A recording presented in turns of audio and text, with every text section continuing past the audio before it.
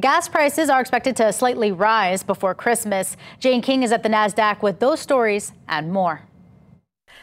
Good morning. Stocks starting the day a bit lower. Nike is the issue, as the company did warn about its sales going forward. Well, Dunkin' is eliminating coconut milk from its menus less than three years after the chain added the plant based dairy alternative. The chain will still have almond milk and oat milk as dairy free creamers. Dunkin' didn't say why it's getting rid of the coconut milk, but chains do adjust their offerings if an item isn't selling or becomes too expensive. Well, a range of tech companies now use AI to generate user prompted audio and video video of Santa.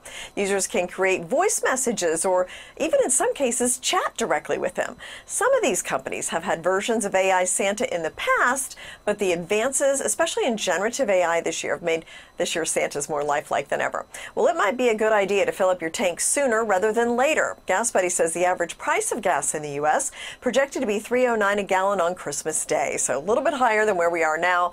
AAA says the current average in Hawaii is 4.68 a gallon. Last Christmas it was 5.10.